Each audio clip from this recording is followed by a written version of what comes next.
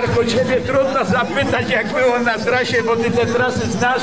Ja już mówiłem, że ta twoja determinacja doprowadziła do tego, że świetna impreza i mam nadzieję, że jak skończysz, bo nie skończysz ze szkoleniem, ale że imprezy będą. Powiedz co na trasie, bo obserwowałeś innych uczestników. Pilot mówi, że manetki mu brakowało.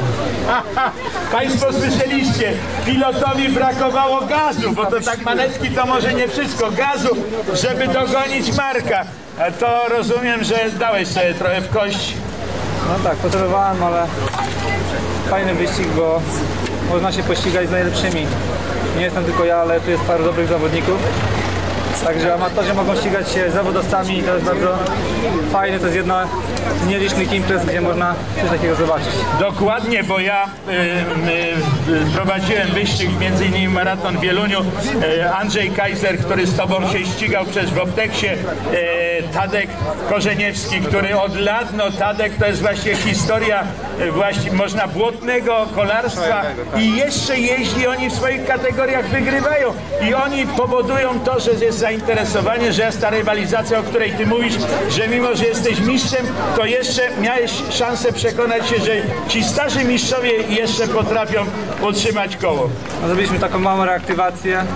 E, bardzo dużo osób, e, których znam z dawien dawna, którzy kiedyś ścigali się na rowerze, przyjechali tutaj też e, i co fajnie, miło, że można się spotkać, porozmawiać o dawnych czasach, także to też fajnie. To jest też ta otoczka tego wyścigu, Marku. Na pewno następne będą, bo mogę Ci już pogratulować, że jest świetna organizacja i odpukać, żeby nic się nie działo do końca jest znakomicie. Wójt e, również przyrzekł, że będzie popierał Waszą inicjatywę, że chce, żeby e, tu rzeczywiście te imprezy były cykliczne, żeby tu przyjeżdżała nie tylko cała Polska, ale również Europa, bo przecież Ty masz kontakty, chociaż tutaj ze Słowakami najbliżej, ja już nie mówię tam gdzieś Francja, czy powiedzmy Belgia, ale tych naszych zagranicznych tutaj Niemcy, Słowacja, Czesi, e, czy powiedzmy Ukraińcy, na pewno chętnie przyjadą.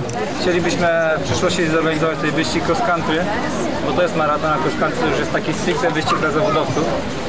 No ale zobaczymy jak to będzie, jak się ułoży. Jedno jest pewne, o Gielniowie w tym roku mówiło się wiele.